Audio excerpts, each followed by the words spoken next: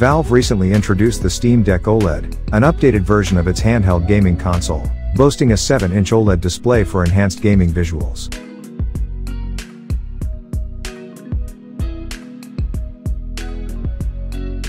This marks a significant improvement over the original Steam Deck, which utilized an LCD screen.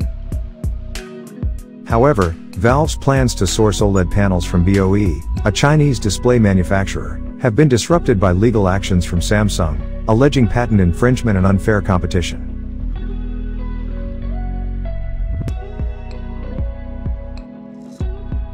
Consequently, Samsung may emerge as the sole supplier for the Steam Deck OLED panels. The new Steam Deck features a resolution of 1280 by 800 and a boosted refresh rate of 90 Hz, powered by AMD's 6 nanometers accelerated processing unit.